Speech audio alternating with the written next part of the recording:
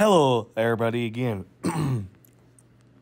if you weren't awake last night, Texas Tech won 28 to 22 against Arizona at Arizona, and yeah, this game was a great game, and it was Joey McGuire's fourth road win in his three years there, and yeah, he improves his road record to 4 and 9, and yeah, and he's 14 and 3 at home, and yeah.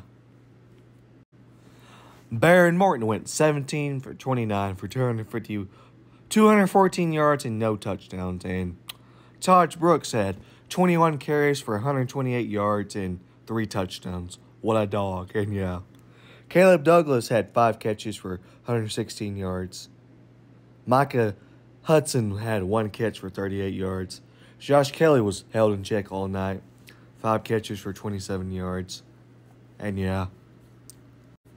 But our defense came to play.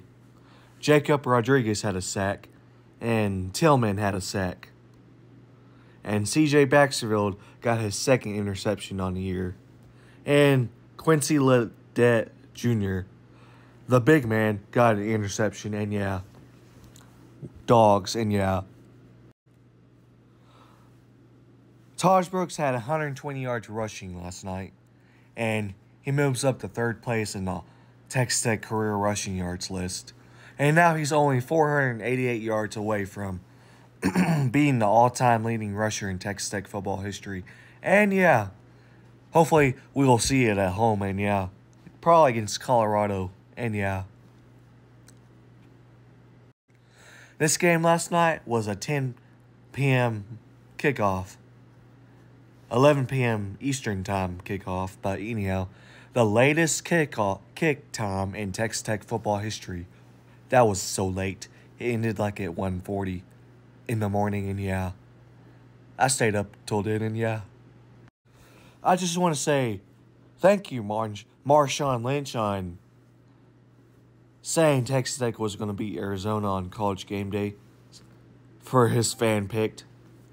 And while these other commentators like Desmond Howard, Nick something, Pat McAfee, and Kirk Herbstreit all voted uh, against Tech and saying Arizona was going to win, but they're losers. They're they're losers now. They don't know what they're talking about now.